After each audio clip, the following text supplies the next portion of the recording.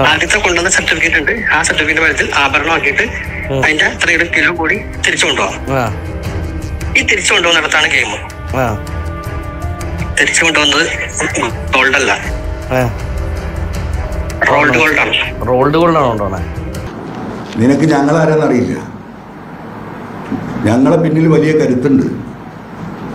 ഇവിടെ എല്ലാ നേതാക്കന്മാരുടെയും മന്ത്രിമാരുടെയും എല്ലാ ഫോണും ഞങ്ങൾ ചോർത്തുന്നുണ്ട്. ഞങ്ങൾക്കെതിരെ ചെറുവിരൽ അനക്കിയാൽ ഈ സംസ്ഥാനം ഉണ്ടാവില്ല. ഇവിടെ ഭരണപക്ഷം ഉണ്ടാവില്ല പ്രതിപക്ഷം ഉണ്ടാവില്ല ബി ജെ പി ഉണ്ടാവില്ല. ഹലോ അസ്സലാമലൈക്കും ഈ വിനോദ് വെളിയങ്കോട് ഈ വന്നേരി എന്ന ഭാഗത്ത് എസ് ഐ ആയിരുന്നു വന്നേരി സ്റ്റേഷനിൽ ഇപ്പൊ സി ഐ ആണ് പൊന്നാനി ഓൻ ചെയ്യാത്ത തെറ്റുകളില്ല. അത് ശരിക്കൊന്ന് പിടിച്ച ആ പെണ്ണിന് പേടിച്ചിട്ട് എത്രയും കാലം കൊടുക്കാണ്ടിരുന്നു. വേറെ പെണ്ണിനും വേണ്ടിയിട്ട് ഞങ്ങളെ എന്നൊക്കെ ഒരു കേസിൽ കുടുക്കിയിട്ടുണ്ട് ഇന്നത്തെ ഈ വീഡിയോ വളരെ ഒരു സുപ്രധാനമായ ഒരു വീഡിയോ ആണ്. ഈ ഒരു വീഡിയോയിൽ കേരളത്തിൽ നടക്കുന്ന ഈ സ്വർണക്കള്ളക്കടത്ത് ബലാത്സംഗങ്ങൾ നിരപരാധികളെ കേസിൽ കുടുക്കിയിട്ട് അവരുടെ അടുത്ത് പൈസ വാങ്ങുക അതോടൊപ്പം തന്നെ മാക്സിമം മുസ്ലിങ്ങളെ കേസിൽ കൊടുക്കുക മലപ്പുറം എന്ന ജില്ലയാണ് ഇന്ത്യയിൽ തന്നെ ഏറ്റവും നൊട്ടോറിയസ് ആയിട്ടുള്ള ജില്ല എന്ന് കാണിക്കാൻ വേണ്ടിയുള്ള ഒരു പദ്ധതി ഡിസൈൻ ചെയ്യുക സർക്കാരിനെ ബ്ലാക്ക്മെയിൽ ചെയ്തിട്ട് ഒരു മുക്കിലിരുത്തുക ഫാസിസ്റ്റ് ശക്തികളുമായി കൂട്ടുകൂടിയിട്ട് ഭരണം തന്നെ ഹൈജാക്ക് ചെയ്യുക തുടങ്ങിയ കാര്യങ്ങളുടെ ഒരു കൂട്ടുമിശ്രിതമാണ് ഒരു വീട് ഞാൻ പറയാൻ പോകുന്നത്. പക്ഷെ ഇതിന് പ്രത്യേകത എന്താണെന്ന് വെച്ചാൽ ഇതെല്ലതും കൂടി നടക്കുന്നത് ഒരൊറ്റ കൊള്ള സംഘത്തിന്റെ ആസൂത്രിതമായ പദ്ധതി കൊണ്ടാണ് എന്നുള്ളതാണ് പ്രത്യേകത. പിന്നെ ഈ ഒരു വീഡിയോ നിങ്ങളിൽ ആരെങ്കിലും സിനിമ തിരക്കഥാകൃത്തുകൾ ഉണ്ടെങ്കിൽ തീർച്ചയായിട്ടും വീഡിയോ കാണണം. കാരണം ഇത്രയും നല്ലൊരു തിരക്കഥ നിങ്ങൾക്ക് ജീവിതത്തിൽ ഒരു സിനിമക്കും എഴുതാൻ സാധിക്കില്ല എന്ന കാര്യത്തിൽ ഒരു സംശയം വേണ്ട. ഇപ്പൊ കഴിഞ്ഞ കാലഘട്ടത്തിൽ നിങ്ങൾ കുറെ തിരക്കഥ കണ്ടിട്ടുണ്ടാവും. ഇതുപോലത്തെ കൊള്ളസംഘം മതി എന്നൊക്കെ പറഞ്ഞിട്ട്. അതിന്റെയൊക്കെ മുമ്പിൽ ഇപ്പോ കേരളത്തിൽ നടക്കുന്ന സംഭവങ്ങളല്ലോ. അതൊക്കെ വെറും ചീൾ കേസാണ്. അങ്ങനത്തെ ആരെയും ഞെട്ടിക്കുന്ന അവിശ്വസനീയമായ കാര്യങ്ങളാണ് കേരള എന്ന് പറഞ്ഞ ഈ ഒരു സംസ്ഥാനത്തിൽ നടക്കുന്നത്. അതായത് ഈ വീട് തുടങ്ങുമ്പോൾ തന്നെ ഒരു ചിന്നൻ ബഷീർ എന്ന് പറയുന്ന ഒരു വ്യക്തിനെ ഈ സുജിത് ദാസിന്റെ നേതൃത്വത്തിൽ അറസ്റ്റ് ചെയ്യുകയുണ്ടായി. രാമനാട്ടുകരയിൽ നടന്ന ചെറിയൊരു പ്രശ്നമാണ്. ചെറിയൊരു പ്രശ്നം പറഞ്ഞാൽ ഈ സ്വർണക്കടത്തുമായി ബന്ധപ്പെട്ട് തന്നെയാണ്. അപ്പൊ അതിന് അറസ്റ്റ് ചെയ്യുന്നു. അതിനുശേഷം ഈ ഒരു വ്യക്തിനെ അതായത് അറസ്റ്റ് ചെയ്യേണ്ട ആവശ്യമൊന്നുമില്ല. അങ്ങനത്തെ ഒരു വ്യക്തിനെ അറസ്റ്റ് ചെയ്ത് വിലങ്ങ് വെച്ച് അയാളുടെ നാട്ടിൽ കൊണ്ടുപോയിട്ട് എവിടെ കൊടുവള്ളിയോ മറ്റോ നാട് രാമനാട്ടുകരയിൽ നിന്ന് അങ്ങോട്ട് കൊണ്ടുപോയിട്ട് അവിടെ ആ നാട്ടുകാരുടെ മുമ്പിൽ നടത്തിക്കുകയാണ്. അപ്പൊ ഇതൊക്കെ എന്തിനാണ് ചെയ്യുന്നത്? അതായത് ഇതിൽ രണ്ട് മൂന്ന് കാര്യങ്ങളാണ്. അത് ഒന്ന് മനസ്സിലാക്കേണ്ടത് ഈ പോലീസുകാർ പറയുന്ന കൈക്കൂലി കൊടുത്തിട്ടില്ലെങ്കിൽ പിന്നെ അവഹേളനങ്ങളുടെ ഒരു നൂലാമാലയാണ്. ഭരണഘടനയെ കാറ്റിൽ പറത്തിക്കൊണ്ട് എല്ലാ അധികാര ദുർവിനിയോഗവും പിന്നെ നടക്കുകയാണ്. അതിനു വേണ്ടിയിട്ടാണ് രാമനാട്ടുകരയിൽ നടക്കുന്ന ഒരു കേസിന്റെ തെളിവെടുപ്പിന് അയാളുടെ നാട്ടിൽ കൊണ്ടുപോയിട്ട് അവിടെ മാർച്ച് നടത്തിക്കുകയാണ് അപ്പൊ അതിനെക്കുറിച്ച് കുറിച്ച് ചിന്നൻ ബഷീർ തന്നെ രണ്ടു വാക്ക് പറയണത് കേട്ടു നോക്കി. പിന്നെ എന്റെ മേലുദ്യോഗസ്ഥനായ പിന്നെ സുജിത് ദാസ് എന്ന് പറഞ്ഞ എസ് പി പറഞ്ഞ പ്രകാരമാണ് ഞാൻ എന്ത് ചെയ്യുന്നത്? ഇതൊക്കെ ചെയ്യുന്നത്. അല്ലാതെ എന്റെ പേഴ്സണൽ താല്പര്യത്തിലല്ല. എന്നാണ് പുള്ളി പറഞ്ഞത്. പുള്ളിക്ക് എന്താണ് മോട്ടീവ് എന്നുള്ളത് നമുക്ക് ഇപ്പോഴല്ല മനസ്സിലാവുന്നത്. എന്ത്? ഈ സ്വർണ പിടിക്കുന്നതും ഒക്കെ രാജ്യസ്നേഹം കൊണ്ടോ അല്ലെങ്കിൽ ഇന്ത്യന്റെ എക്കണോമി തകരണമെന്നോ നല്ലല്ലോ ഇപ്പം സുജിത് ദാസ് സുജിത് ദാസ് ഈ പണിയെടുത്തപ്പോൾ ഇപ്പം മനസ്സിലാവുന്നത്. സ്വന്തം വീട്ടിലോട്ട് അല്ലെങ്കിൽ സ്വന്തം പോക്കറ്റിലോട്ട് കിട്ടുമ്പം സ്വാഭാവികമായിട്ട് അതാണല്ലോ നമുക്ക് ഇതുവരെ മനസ്സിലായത്. ഈ ഈ അടിച്ചു മാറ്റുന്ന സ്വർണത്തിൽ നിന്നൊരു ഷെയർ പുള്ളിക്കും വരുന്നുണ്ട്. ഇത് തട്ടാൻ തൊട്ടാൽ എട്ടാൽ ഒന്ന് എന്ന് പണ്ടൊരു ചൊല്ലുണ്ട്. അതേപോലെ ഈ സ്വർണം പിടിക്കുന്നവർക്ക് എല്ലാവർക്കും ലാഭമല്ലേ? അതാണല്ലോ ഇതിന്റെ സംഭവം. അതാണല്ലോ ഇപ്പം മനസ്സിലായത്. വ്യക്തമായല്ലോ ഇപ്പോൾ നമുക്ക് അന്ന് തന്നെ മനസ്സിലാക്കാൻ പറ്റിയെങ്കിൽ തന്നെ ഇപ്പം ഇത് ജനം അറിഞ്ഞല്ലോ. പബ്ലിക് എല്ലാം അറിഞ്ഞല്ലോ ഇപ്പോൾ അല്ലാതെ നാട്ടിൽ ഗുണ്ടായിസം നടത്തുന്ന സംവിധാനം തന്നെ. അങ്ങനെ തന്നെ മനസ്സിലായത് എനിക്ക്. ഈ കേസ് വെച്ച് ഒരുപാട് ഇവർ ഒരുപാട് കാശുണ്ടാക്കിക്കുന്നുള്ള കാര്യത്തിൽ സംശയമില്ല. കാരണം ഇതിൽ ഒരുപാട് പ്രതികൾ വെളിയിലുണ്ട്. അപ്പോൾ വെളിയിലുള്ള പ്രതികൾക്ക് നാട്ടിൽ വരുമ്പോൾ ഇവരെ അറസ്റ്റ് ആവണ്ട അല്ലെങ്കിൽ ജയിലിൽ പോകണ്ട എന്ന് കരുതിയിട്ട് ഇവരൊക്കെ അഞ്ച് ലക്ഷമോ പത്ത് ലക്ഷം ചോദിച്ചാൽ കൊടുക്കും. കോടാനും കോടിക്കണക്കിന് ഈ കേസ് കൊണ്ട് മാത്രം ഉദ്യോഗസ്ഥന്മാർ ഉണ്ടാക്കിയിട്ടുണ്ടെന്നാണ് ഞാൻ മനസ്സിലാക്കുന്നത്. കണ്ടില്ലേ? നെയ്യപ്പം തിന്നാൽ രണ്ടുണ്ട് കാര്യം എന്ന് നമ്മൾ കേട്ടിട്ടുണ്ട്. പക്ഷേ ഈ ഒരു കൊള്ളസംഘം എം ആർ അജിത് കുമാറിന്റെ നേതൃത്വത്തിലുള്ള ഈ സുജിത് ദാസ് എന്ന് പറയുന്ന വ്യക്തിയിൽ കൂടെ നടപ്പാക്കുന്ന ഈ കൊള്ളസംഘമല്ലോ ഈ കൊള്ളസംഘത്തിന് ഒരു കാര്യം ചെയ്താൽ പത്തുണ്ട് ഗുണം എന്ന് പറഞ്ഞ രീതിയിലാണ് ഉണ്ടാകുന്നത് അതായത് ആദ്യം കുറേ ആൾക്കാർക്കെതിരെ കള്ളക്കേസ് ചുമത്തുക. ഈ സ്വർണം കടത്തി എന്നൊക്കെ പറഞ്ഞിട്ട്. അപ്പൊ എന്നിട്ട് ആ ആൾക്കാരുടെ അടുത്ത് നിന്ന് ആ കേസിൽ നിന്ന് തലയുരാൻ വേണ്ടിട്ട് ക്യാഷ് വാങ്ങുക. അപ്പൊ അതിനെ കുറിച്ചാണ് ചിന്നൻ ബഷീർ പറയുന്നത്.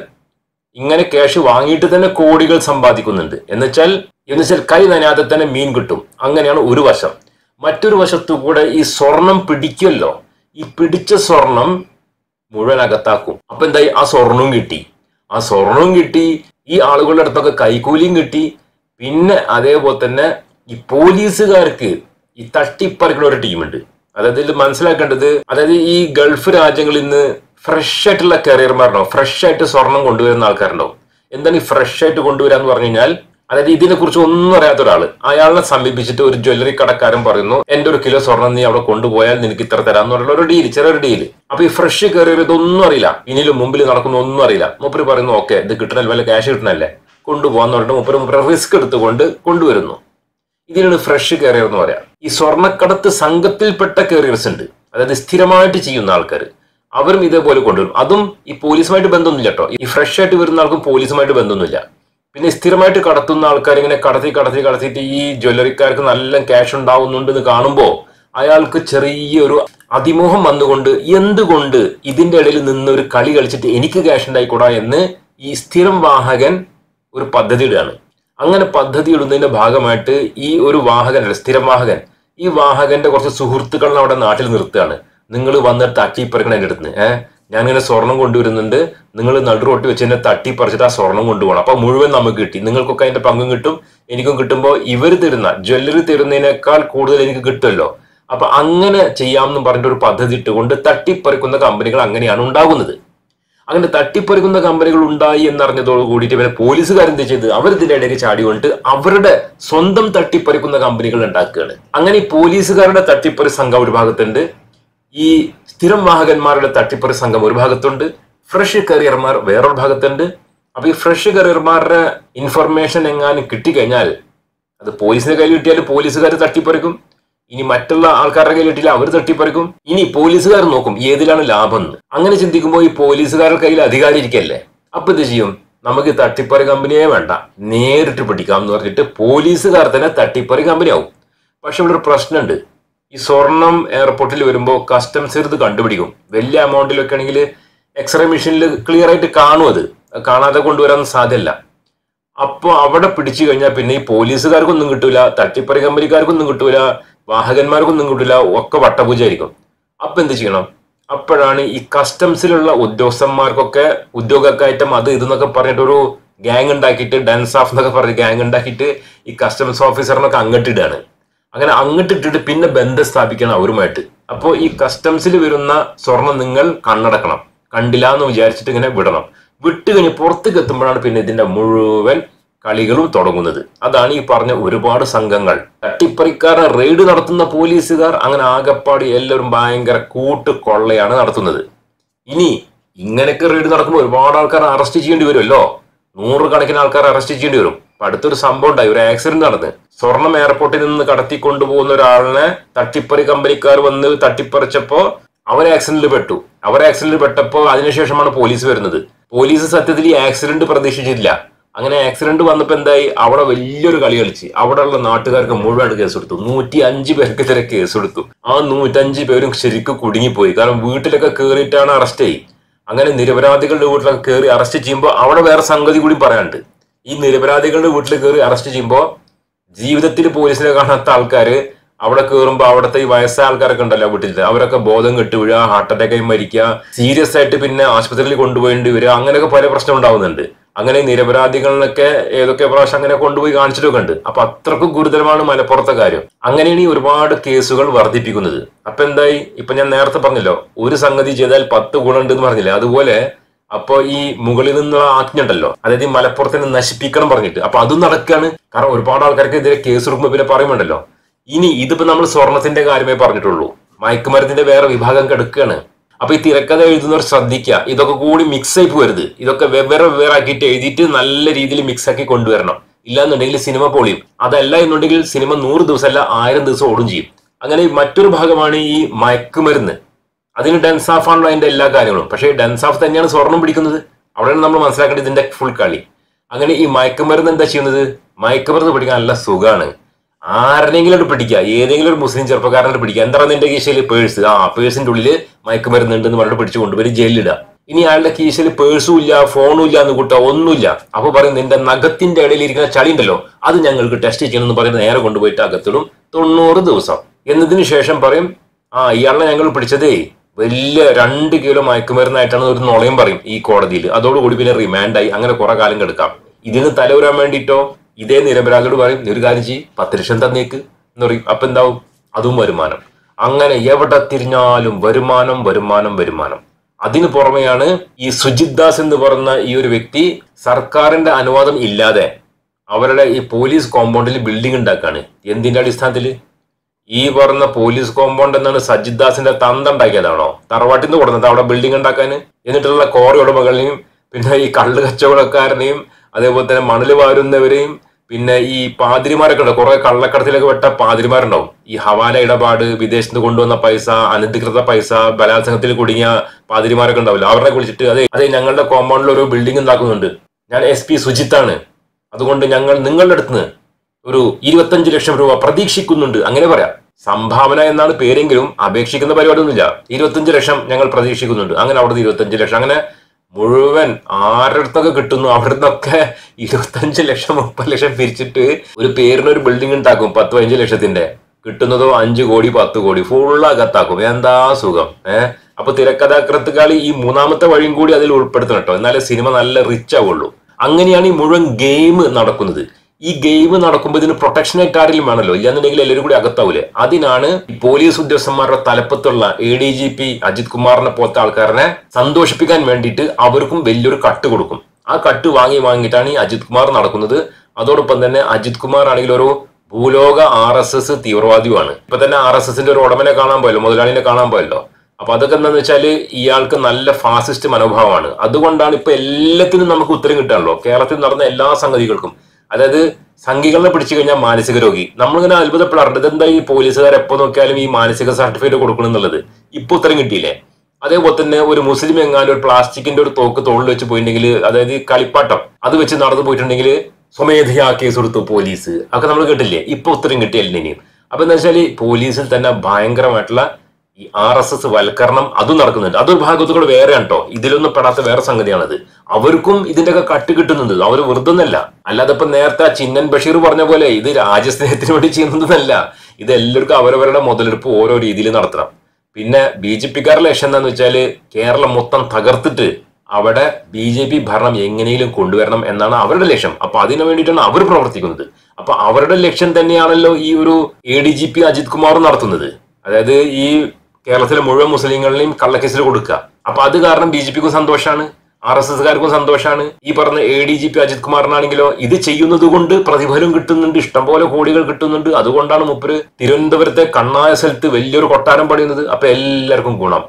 നഷ്ടമാർക്കാണ് ജനങ്ങൾക്ക്. ആ ജനങ്ങളിൽ തന്നെ മുസ്ലിങ്ങൾക്കാണ് ഏറ്റവും വലിയ നഷ്ടം. കാരണം എല്ലാ വീടുകളിലും ഇപ്പോ മരണാന്തരീക്ഷമാണ് നടക്കുന്നത്. നിരപരാധികളെ മുഴുവൻ ആട്ടിത്തൊളിച്ചിട്ടാണ് ജയിലിൽ കൊണ്ടുപോയി ഇടുന്നത് ഇനി ഇതാണ് ഗെയിമിന്റെ ആദ്യത്തെ ലെവൽ ഇനി രണ്ടാമത്തെ ലെവൽ അത് കേട്ടാൽ നിങ്ങൾക്ക് ഇതിനേക്കാൾ വലിയ അത്ഭുതം തോന്നും. കേട്ടു നോക്കി. മറ്റേ പിടിക്കുന്നത് എടുത്തിട്ടല്ല. ആ. കോൾ ഇന്റർസെപ്റ്റ് ചെയ്യും. ആ ആ. ഇന്റർസെപ്റ്റ് ചെയ്യാനായിട്ട് നിയമപരമായിട്ട് ആഭ്യന്തര വകുപ്പ് സെക്രട്ടറി ഒപ്പിട്ടാലാണ് നടക്കുള്ളൂ ആ മനസ്സിലായി. അപ്പൊ ഇതെന്തായാലും ചെയ്യില്ല അതിന് ഒറ്റ ഒരു ഒരു ഒറ്റ ലൂപ്പോളുണ്ട് വയനാട് മലപ്പുറം ജില്ലകളിലെ മാർക്ക്. ആ. മാവോവാദി ഭീഷണി. ഇത്ര പേരിൽ ഒരു നമ്പർ മാവോവാദിയുടെയാണ് അല്ലെങ്കിൽ അവരോട് ബന്ധമുള്ളവരാണെന്ന് സംശയിക്കുവാണെങ്കിൽ അവരുടെ അപ്പോൾ എത്ര ആൾ വേണമെങ്കിലും ഇന്റർസെപ്ഷൻ ഇടാം. അപ്പൊ അത് രണ്ട് എസ് പിമാർക്കേ ഉള്ളൂ വയനാട് മലപ്പുറം. വയനാട് ജില്ലയിൽ സ്വർണക്കടത്തില്ല. അതെ. അറിയാലോ? അതെ. കോഴിക്കോടുണ്ട്. കോഴിക്കോട് ഉണ്ട് പക്ഷെ കോഴിക്കോട് എക്സ്പെക്ട് എടുക്കാൻ പറ്റില്ല പിന്നെ ഉള്ളത് എന്താണ് മലപ്പുറം. മലപ്പുറമാണ്. അതിന്റെ പേരിൽ ഇപ്പൊ തന്നെ സംശയം ഉണ്ടെങ്കിൽ തന്റെ നമ്പർ കിട്ടാൻ നമ്മൾ പ്രിക്കോഷൻ എടുക്കാൻ വേണ്ടി എന്ത് ചെയ്യും? കോഡ് ഭാഷ കേട്ടിരിക്കുമ്പോ. പക്ഷെ. കോൾ ഡീറ്റെയിൽസ് കിട്ടുമ്പോൾ ലേറ്റ് പക്ഷെ സംഭാഷണം കൃത്യമായി മനസ്സിലാവല്ല അതായത് സാധനം കൊണ്ടിരുന്നത് ഇതിന് വേണ്ടി ഞങ്ങൾ ഇന്ന എത്ര മണിക്ക് ഇന്ന ഹോട്ടലിന്റെ മുമ്പിലേക്കാം. അല്ലെങ്കിൽ ഇന്ന പമ്പിൽ ഇന്ന സ്ഥലത്ത് വെച്ചിട്ടുണ്ടെന്ന് പറഞ്ഞാൽ പറയണത് കേൾക്കുമല്ലേ അതെ അതെ അതെ. ലൈവായിട്ട് കേൾക്കുവാണോ? അങ്ങനെയാണ് ആ, അതെ അങ്ങനെയാണ് ഈ സാധനം മനസ്സിലായി. അപ്പോ ഒരു നൂറ് കിലോ സ്വർണം ഇങ്ങോട്ട് കൊണ്ടുവന്നാൽ അത് അവരുടെ ആ ജ്വല്ലറിയിലേക്കുള്ള ആഭരണം പണിയുന്നതിന്റെ റോ മെറ്റീരിയൽ ആയിട്ട് നൂറ് കിലോ കൊണ്ടുവരും. നൂറ് കിലോ കൊണ്ടുവന്നിട്ട് നയൻ പത്ത് കൊണ്ടുവന്ന ട്രിപ്പിൾ നയൻ ആണ് ആ. നയൻ മന്ത്സ് ആക്കി നയൻ മന്ത് സിക്സ് ആക്കിയിട്ട് തിരിച്ചു പോകുമ്പോ നൂറ് കിലോ വരെ നൂറ്റി രണ്ട് അല്ലെങ്കിൽ കല്ല് ഉൾപ്പെടെ ഒരു നൂറ്റി നൂറ്റിയഞ്ച് എത്ര കിലോ തിരിച്ചു കൊണ്ടുപോകാലോ. ആദ്യത്തെ കൊണ്ടുവന്ന സർട്ടിഫിക്കറ്റ് ഉണ്ട്. ആ സർട്ടിഫിക്കറ്റ് വരത്തിൽ ആഭരണമാക്കിയിട്ട് അതിന്റെ അത്രയും കിലോ കൂടി തിരിച്ചു കൊണ്ടുപോകാം ഈ തിരിച്ചു കൊണ്ടുപോകുന്നിടത്താണ് ഗെയിം. തിരിച്ചു കൊണ്ടുവന്നത് ഗോൾഡ് അല്ല. റോൾഡ് ഗോൾഡ് ആണ്. റോൾഡ് ഗോൾഡാണ് കൊണ്ടുപോണേ. അതായത് നമ്മുടെ പറക്കാട്ടൊക്കെ പോലെ കൊല്ലം സുപ്രീം പോലെ അത് രീതിയിലുള്ള ക്വാളിറ്റിയുള്ള ഗോൾഡ് വൺ ഗ്രാം ഗോൾഡ് മനസ്സിലായി. സ്വർണം പൂശിയത്. ഈ ഗോൾഡ് ഈ ഈ പറയുന്ന സാധനം ഒറിജിനൽ ഗോൾഡ് ആണെന്ന് സർട്ടിഫൈ ചെയ്യേണ്ടത് ആരാണ്? അപ്രൈസറാണ് ആ അപ്രൈസർ സർട്ടിഫൈ ചെയ്താൽ മാത്രമേ സാധനം കയറിപ്പോളൂ അതിനാണ് ഫണ്ട് അതാണ് ഇരുപത് ഇരുപത് വർഷം മുമ്പ് ആ. ഉള്ള കഥ ഒരു പതിനെട്ട് ഇരുപത് വർഷം മുമ്പ് ഒരു ദിവസം വരുമാനം രണ്ടു ലക്ഷം രൂപയായിരുന്നു. അവരുടെ മാസമല്ല ഒരു ദിവസം. ഇവിടെ രണ്ട് കാര്യങ്ങളാണ്. ഇത് രണ്ടും കൂടി മിക്സ് ആയി പോരുത് കേട്ടോ ഇല്ലെങ്കിൽ നിങ്ങളുടെ സിനിമ പൊളിയും. അപ്പോ ഇവിടെ പറഞ്ഞ രണ്ട് കാര്യങ്ങളിൽ ഒന്ന് ഈ പോലീസുകാർക്ക് അധികാരമുണ്ട് ഈ ഫോൺ ചോർത്താനുള്ള. പക്ഷെ അത് എങ്ങനെയാണ്? എന്തെങ്കിലും ഒരു കാരണം വേണം. അങ്ങനെ ഒരു കാരണമാണ് ഈ മലപ്പുറം വയനാട് ജില്ലകളിൽ മാവോവാദികൾ ഉണ്ടെന്ന് പറഞ്ഞിട്ട് അവിടെ ഈ ഫോൺ ചോർത്തൽ നടത്താം. മറ്റുള്ള ഒരു സ്ഥലത്തും ഫോൺ ചോർത്താൻ പാടില്ല. അപ്പൊ അങ്ങനെ ഒരു ലൂപ്പ് ഹോൾ ഉണ്ട് ഈ രണ്ട് ജില്ലകളിൽ. ഈ രണ്ട് ജില്ലകളിലെ ലൂപ്പ് ഹോൾ എടുത്തുകൊണ്ട് അധികാര ദുർവിനിയോഗം നടത്തി. നിയമത്തിനെ മറികടന്നുകൊണ്ട് എം ആർ അജിത് കുമാറുടെ അനുവാദമില്ലാതെ സുജിത് ദാസിന് ഇങ്ങനെ ഒറ്റയ്ക്ക് എല്ലാതും ചെയ്യാൻ പറ്റില്ല. അപ്പൊ അങ്ങനെ എല്ലാ നിയമങ്ങളും കാറ്റിൽ പറത്തിക്കൊണ്ടാണ് കേരളത്തിലെ മുഴുവൻ തുടച്ചു നീക്കിയിട്ടാണ് ഈ ഇന്റർസെപ്ഷൻ നടത്തുന്നത്. അതിന് കുറെ ഉദ്യോഗസ്ഥന്മാരെ ഇരുത്തേണ്ടതായിട്ടുണ്ട്. ഒരു സംശയമില്ലല്ലോ. അല്ലാന്നുണ്ടെങ്കിൽ ഇപ്പോൾ ഈ പതിനായിരക്കണക്കിന് കോൾ വരുമ്പോൾ എവിടെ പോയിട്ടാ പിടിക്കുക ആൽഗറിതം ഉണ്ടാക്കിയിട്ട് പ്രോഗ്രാം ആൽഗറിതം ഉണ്ടാക്കിയിട്ട് അതിൽ പ്രത്യേക പ്രത്യേക വാക്കുകൾ. ഇന്നെന്ന വാക്ക് വരുമ്പോൾ അത് ഉടനെ തന്നെ ഈ ഇൻവെസ്റ്റിഗേറ്ററെ ശ്രദ്ധയിൽപ്പെടുത്തണം എന്ന് പറഞ്ഞ ഒരു പ്രോഗ്രാം ഉണ്ടാക്കി കഴിഞ്ഞാൽ ഇന്നെന്ന വാക്ക് വരുമ്പോൾ അവർ ആ ഒരു സിസ്റ്റം തന്നെ ഓട്ടോമാറ്റിക്കായിട്ട് ശ്രദ്ധയിൽപ്പെടുത്തും. അങ്ങനെയാണ് ഈ ഇന്റർസെപ്ഷൻ നടക്കുന്നത്. ഇപ്പൊ ഞാനിത് ഈ കേരളം മുഴുവൻ ഇങ്ങനെ ഫോൺ ചോർത്തുന്നു എന്ന് പറയാൻ കാരണം അറിയോ? അതിന് വേറെ സംഗതി ഞാൻ കാണിച്ചു തരാം. അപ്പൊ നിങ്ങൾക്ക് കാര്യം മനസ്സിലാവും. പക്ഷെ ഇവിടെ ഈ ഒരു ശബ്ദരേഖയിൽ പറയുന്നത് മലപ്പുറത്തെ മാത്രം ഫോൺ ചോർത്തുന്നു എന്നാണ്. അപ്പൊ ഏതാണ്ട് നിങ്ങൾക്ക് ഉത്തരം കിട്ടിയല്ലോ. എങ്ങനെയാണ് സ്വർണവാഹകരെ പിടിക്കുന്നത് ഈ പോലീസിന് മനസ്സിലായല്ലോ. മനസ്സിലായില്ല? അപ്പൊ മാവോവാദി എന്നൊരു പ്രശ്നമല്ല. മാവോവാദി അല്ലെങ്കിലും പിടിച്ചിട്ട് വലിയ ഒന്നും കിട്ടാതൊന്നുമില്ലല്ലോ അപ്പൊ അതിനാണ് ഇങ്ങനത്തെ ഒരു കറവപ്പശു ബിസിനസ് ഉള്ളത്. അതാണ് ഈ സുജിത് ദാസ് ഒക്കെ ഉപയോഗിക്കുന്നത്. പിന്നെ ഇതിൽ അവസാനം പറഞ്ഞൊരു സംഗതി വളരെ ഇമ്പോർട്ടന്റ് ആണ്. അതിൽ പറയുന്നത് ഈ ജ്വല്ലറിക്കാർ എങ്ങനെയാണ് സ്വർണക്കടത്ത് നടത്തുന്നത് എന്നതാണ്. അതായത് ഈ ഗൾഫിൽ നിന്ന് തങ്കം തനി തങ്കം കൊണ്ടുവരും. തനി തങ്കം കൊണ്ടുവരുന്നിട്ട് പറയും ഞങ്ങൾ ഇത് തിരിച്ചു കൊണ്ടുപോകും. കാരണം അത് ആഭരണമാക്കിയിട്ട് ഞങ്ങൾ തിരിച്ചു കൊണ്ടുപോകുമെന്ന് അവിടെ എയർപോർട്ടിൽ പറയും. അപ്പൊ ഇതിന് ടാക്സ് ഇല്ലല്ലോ. ഡ്യൂട്ടി നടക്കണ്ടല്ലോ. അങ്ങനെ കൊണ്ടുവന്നതിന് ശേഷം ഇത് ആഭരണമാക്കും. പക്ഷേ അവിടെയാണ് ആ വ്യക്തി പറയുന്നത് ഈ ആഭരണങ്ങളൊക്കെ തന്നെ കൃത്രിമ സ്വർണമായിരിക്കും റോൾഡ് ഗോൾഡ് ആയിരിക്കും എന്ന് പറയുന്നത്. എന്ന് വെച്ചാൽ നൂറ് കിലോ സ്വർണം ഇങ്ങോട്ട് കൊണ്ടുവന്നു കഴിഞ്ഞാൽ അങ്ങോട്ട് പോകുന്നത് വെറും നൂറ് ഗ്രാം സ്വർണം മാത്രമായിരിക്കും. പക്ഷെ ബാക്കി ഇങ്ങനെ കാണുമ്പോൾ സ്വർണം പോലെയൊക്കെ ഉണ്ടാവും. പക്ഷെ അപ്പൊ നിങ്ങൾ ചോദിക്കും ഈ എയർപോർട്ടിൽ ഇരിക്കുന്ന ആൾക്കാരൊക്കെ ഇത്ര പൊട്ടന്മാരാണോ? റോൾഡ് ഗോൾഡും ഗോൾഡും കണ്ടുപിടിക്കാൻ പറ്റില്ല എന്ന് ചോദിക്കും. അതിനാണ് ഇത് ഒറിജിനൽ ഗോൾഡ് ആണെന്ന് പറയുന്ന ഒരു സർട്ടിഫിക്കറ്റ് കൊടുക്കാൻ ഒരു സർക്കാർ ഉദ്യോഗസ്ഥനുണ്ട്. എപ്രൈസർ എന്ന് പറയും. അവരുടെ സർട്ടിഫിക്കറ്റ് നോക്കിയിട്ടാണ് ഈ കസ്റ്റംസിൽ പൊയ്ക്കോ പൊയ്ക്കോ എന്ന് പറയാം. അപ്പൊ അതിലും എല്ലാവരും അണ്ടർസ്റ്റാൻഡിങ് ഉണ്ടാവും കേട്ടോ ഈ കസ്റ്റംസിൽ ഇരിക്കുന്ന ആൾക്കാർ പൊട്ടന്മാരൊന്നെല്ലാം പറഞ്ഞ ശരി തന്നെയാണ്.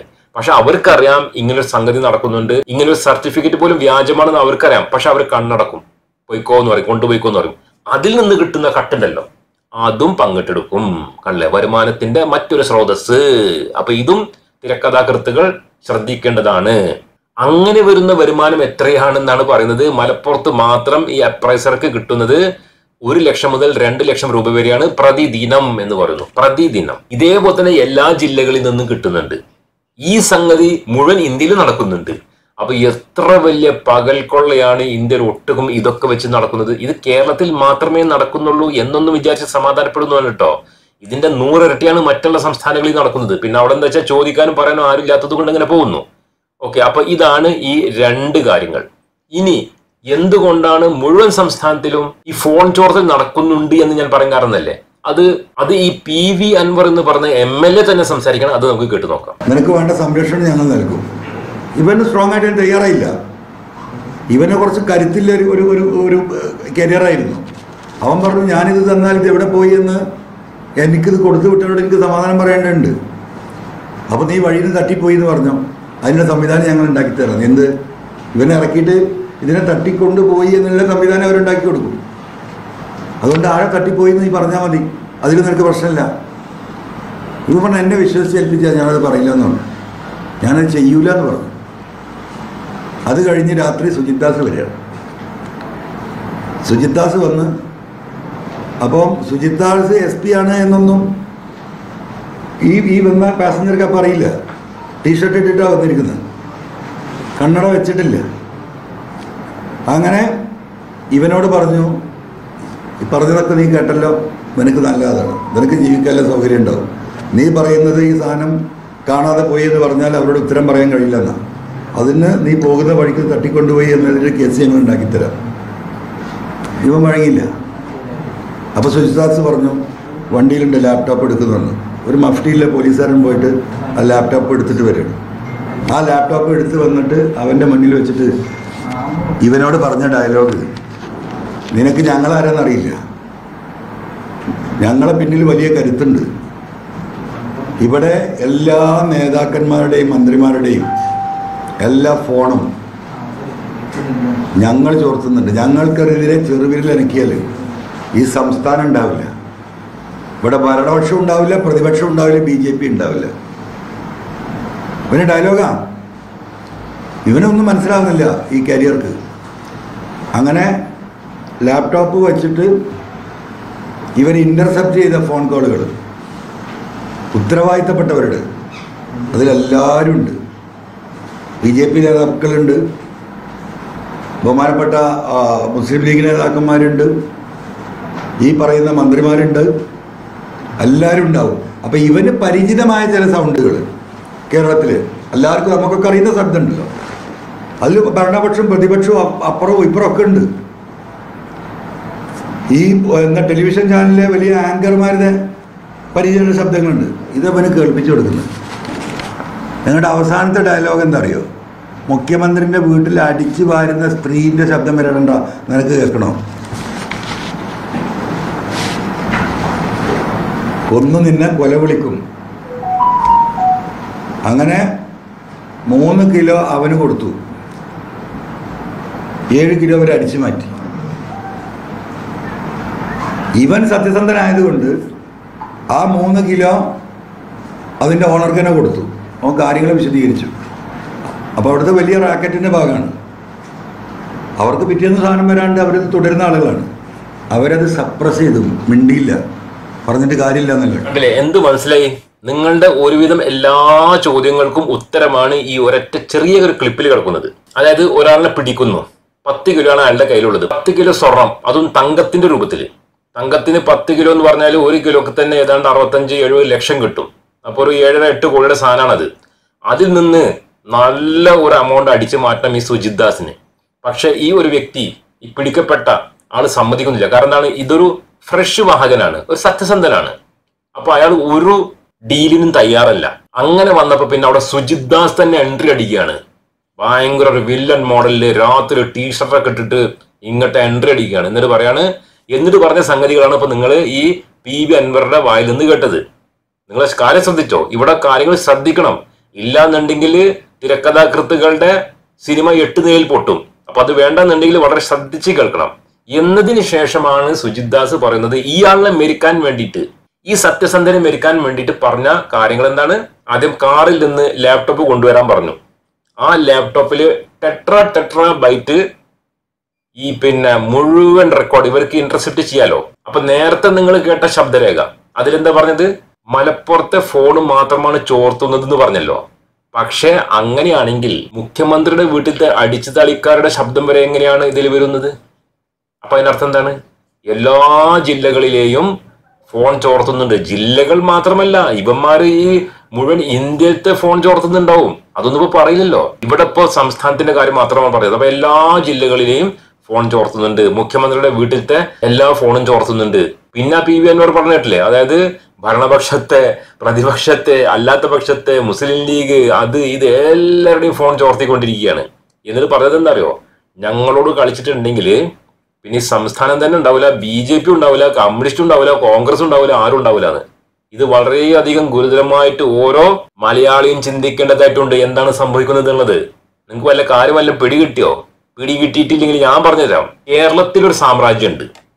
ആ സാമ്രാജ്യം എന്ന് പറയുന്നത് ഈ തട്ടിപ്പിന്റെയും വെട്ടിപ്പിന്റെയും അതേപോലെ തന്നെ കള്ളക്കടത്തിന്റെ ഒരു സാമ്രാജ്യമാണ്. ആ സാമ്രാജ്യം ഉണ്ടാക്കാൻ വേണ്ടിയിട്ട് ഒരുപാട് ആൾക്കാർ സഹായം വേണം. അങ്ങനെയാണ് ഈ സുജിത് ദാസും ഈ പറയുന്ന സുജിത് ദാസിന്റെ നേതാവായിട്ടുള്ള എം ആർ അജിത് കുമാറും കൂടി സൃഷ്ടിച്ചിട്ടുള്ളത്.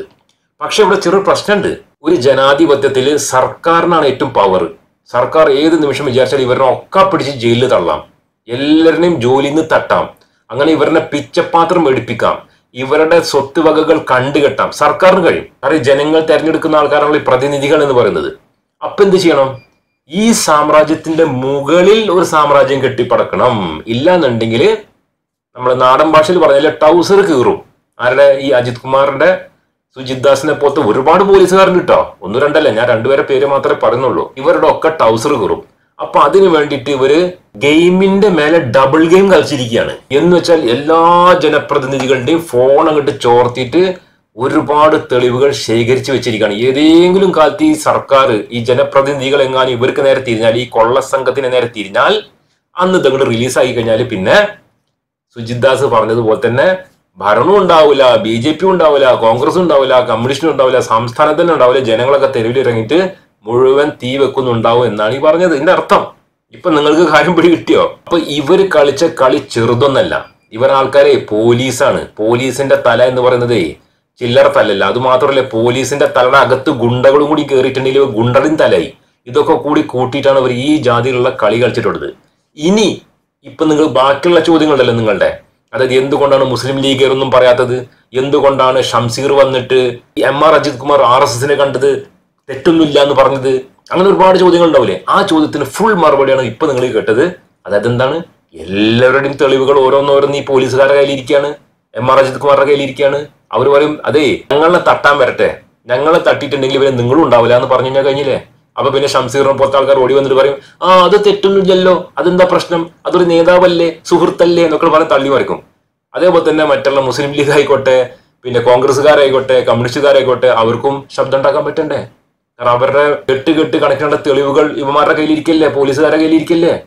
പോലീസുകാർക്ക് എന്തെങ്കിലും കേസ് എടുക്കാൻ പറ്റുമോ? അതുമില്ല. എത്ര പോലീസുകാരെ വെച്ചിട്ടാണ് ഈ ഡിസ്മിസ് ചെയ്യുക ഡിസ്മിസ് പോട്ടെ. സസ്പെൻഷൻ പോലും ചെയ്യാൻ പറ്റാതെ നടക്കുകയാണ് ഈ പറയുന്ന സർക്കാർ. ജനങ്ങളുടെ മുകളിൽ ഒരു വലിയ ഒരു ഡബിൾ ഗെയിം കളിച്ച ഒരു സാമ്രാജ്യം സാമ്രാജ്യത്തിന്റെ മേലെ സാമ്രാജ്യം സൃഷ്ടിച്ചിരിക്കുകയാണ് ഈ പറയുന്ന കൊള്ളസംഘം. പോലീസ് വേഷം ധരിച്ച ഈ ഒരു കൊള്ളസംഘം എന്ന കാര്യത്തിൽ ഒരു സംശയം വേണ്ട. ഇപ്പൊ നിങ്ങൾക്ക് എല്ലാത്തിനും മറുപടി കിട്ടിയിട്ടുണ്ടെന്ന് പ്രതീക്ഷിക്കുന്നു. പിന്നെ ഈ പി വി അൻവറിന് ഒരുപാട് ആൾക്കാർ ഇതുപോലെ രഹസ്യമായിട്ട് ഒരുപാട് സംഗതികൾ കൊടുത്തുകൊണ്ടിരിക്കുന്നുണ്ട്. ഒരുപാട് വിവരങ്ങൾ. ഇപ്പോ ചില ആൾക്കാർ എന്തോ തെറ്റിദ്ധരിച്ചിട്ടാന്ന് തോന്നുന്നുണ്ട്. എന്റെ നമ്പറുകൾ കാണുമ്പോൾ എന്റെ നമ്പർ സ്ക്രീനിൽ കണ്ടിട്ടാ തോന്നുന്നുണ്ട്. എന്നെയും വിളിച്ച് പറയുന്നുണ്ട്. പക്ഷെ ആരും തന്നെ പേരൊന്നും പറയാൻ തയ്യാറല്ല മുഖം കാണിക്കാൻ തയ്യാറല്ല. എല്ലാവർക്കും പേടിയാണ് കേട്ടോ കാരണം ഇത് ഇത്രയും വലിയ സാമ്രാജ്യത്തിന്റെ മേലെ സാമ്രാജ്യം കിട്ടിയ ആൾക്കാരൊന്നും ചെയ്യാൻ കഴിയില്ലല്ലോ. എന്തായാലും ഒരാൾ ഞാൻ ശബ്ദം മാറ്റിയിട്ടാണ് ഇട്ടിട്ടുള്ളത് ഇവിടെ. അയാൾ പറയുന്ന ചെറിയൊരു കാര്യം നമുക്കിത് കേൾക്കാം. ഹലോ അസ്സലാമു അലൈക്കും. ഈ വിനോദ് വെളിയങ്കോട് ഈ വന്നേരി എന്ന ഭാഗത്തെ സി ആയിരുന്നു വന്നേരി സ്റ്റേഷനിൽ ഇപ്പൊ സി ഐ ആണ് പൊന്നാനി ഓൻ ചെയ്യാത്ത തെറ്റുകളില്ല.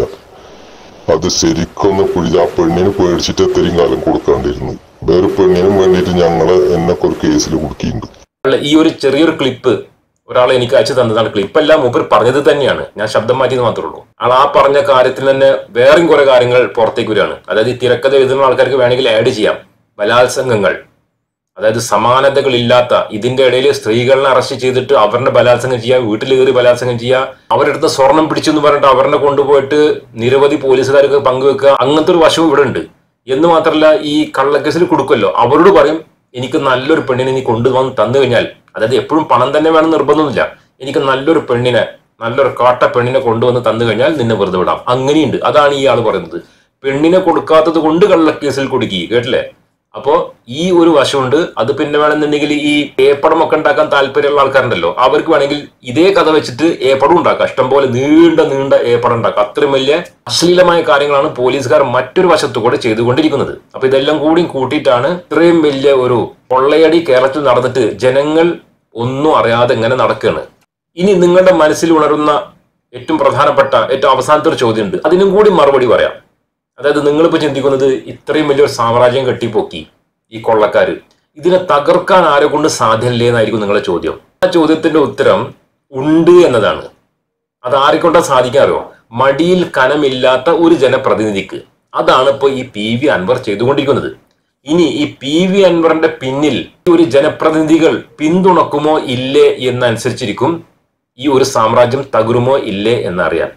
അതല്ലാന്നുണ്ടെങ്കിൽ പിന്നെ ജനങ്ങൾ തന്നെ ഇത് മുൻകൈയിട്ട് ഇറങ്ങിക്കൊണ്ട് ജാതി മത പാർട്ടി വകഭേദമേന്യെ പുറത്തേക്ക് ഇറങ്ങിയിട്ടില്ല എന്നുണ്ടെങ്കിൽ ഈ ഒരു കൊള്ളസംഘം വളർന്ന് വളർന്ന് ഒരു ബുള്ളറ്റ് പ്രൂഫ് സംഘമായി മാറുമെന്ന കാര്യത്തിൽ ഒരു സംശയം വേണ്ട. പിന്നെ ഇവിടെ ഒരു പ്രേക്ഷകൻ പറയാണ് മലപ്പുറം ഇങ്ങനെയാണെങ്കിൽ കാശ്മീർ എങ്ങനെയായിരിക്കും? ചോദിക്കാനും പറയാനും ആരുമില്ല. ബലാത്സംഖികൾ അഴിഞ്ഞാടുന്നുണ്ടാകും എന്ന് പറയാണ്. അതാണ് ഇപ്പൊ ഇത്ര നമ്മൾ പറയുന്ന ഈ കേരളം ഇത്രയും സുരക്ഷിതമാണെന്നൊക്കെ പറയുന്ന കേരളത്തിന്റെ അവസ്ഥ ഇങ്ങനെയാണെങ്കിൽ കാശ്മീരിലൊക്കെ അഴിഞ്ഞാട്ടായിരിക്കും. എന്ത് തോന്നിവാസം ചെയ്യാന്ന് പറഞ്ഞിട്ട് കയറൂരി വിട്ടിരിക്കല്ലേ ഏജൻസികളിലെ അവിടൊക്കെ സ്ത്രീകളിനൊക്കെ ആകെ ചതച്ച് നിരക്കി ആകെ പുരുഷന്മാരൊക്കെ അടിച്ച് പഞ്ഞാക്കി മുഴുവൻ കൊള്ളടിച്ച് കൊണ്ടുപോകുന്നുണ്ടാവും സംഖ്യകൾ അതൊക്കെ ഉറപ്പുവരുത്തുന്ന കാര്യങ്ങളാണ് കേരളത്തിൽ നടക്കുന്നത്. അപ്പൊ അതുകൊണ്ടാണ് ഈ പ്രേക്ഷകർ ഇങ്ങനെ പറയുന്നത്. എന്നിട്ടോ ഇതൊക്കെ കഴിഞ്ഞതിന് ശേഷം കേന്ദ്രത്തിന്റെ ഒരു പുരസ്കാരം കൊടുക്കുന്നത് പോലീസിന് എന്താണ്? ദൈ കാണുന്ന സ്ത്രീകൾക്കും കുട്ടികൾക്കും എതിരായ സൈബർ കുറ്റകൃത്യങ്ങളിൽ സജീവ ഇടപെടൽ. കേരള പോലീസിന് കേന്ദ്രത്തിന്റെ പുരസ്കാരം. എങ്ങനെയുണ്ട്? സൈബർ ഇടപെടലേ സൈബറിൽ ഇടപെട്ട് ഇടപെട്ടിട്ടാണ് എല്ലാ പെണ്ണുങ്ങൾക്കൊക്കെ ഇപ്പൊ നീച്ച് നടക്കാൻ വയ്യ. ആ രീതിയിലാണ് ബലാത്സംഗം ചെയ്ത് കൂട്ടിയിട്ടുള്ളത്. എന്നിട്ട് അതിന് പുരസ്കാരവും കിട്ടുന്നുണ്ട്. എന്താ സുഖം? അതും കേന്ദ്രത്തിൽ നിന്ന്. കാരണം കേന്ദ്രത്തിന് വേണ്ട സംഗതികളൊക്കെയാണല്ലോ പോലീസുകാർ നടത്തി കൊടുക്കുന്നത് അപ്പോ ഇങ്ങനെ അങ്ങോട്ടും ഇങ്ങോട്ടും പിണഞ്ഞ് കവിഞ്ഞ് പിളഞ്ഞ് കിടക്കുന്ന ഒരു ഭീകരമായ കൊള്ളസംഘ നെറ്റ്വർക്കാണ് ഇപ്പോൾ കേരളത്തിൽ നടക്കുന്നത്. ഇനി വരും ദിവസങ്ങളിൽ നമുക്ക് കാണാം അല്ലെങ്കിൽ അറിയാം എന്താണ് ഇനി സംഭവിക്കാൻ പോകുന്നത് എന്നുള്ള കാര്യം. അപ്പോൾ ഈ ഒരു വീഡിയോയിൽ എത്രമാത്രം പറഞ്ഞുകൊണ്ട് അവസാനിപ്പിക്കുകയാണ്. അടുത്ത വീഡിയോയിൽ കാണാം. ബൈ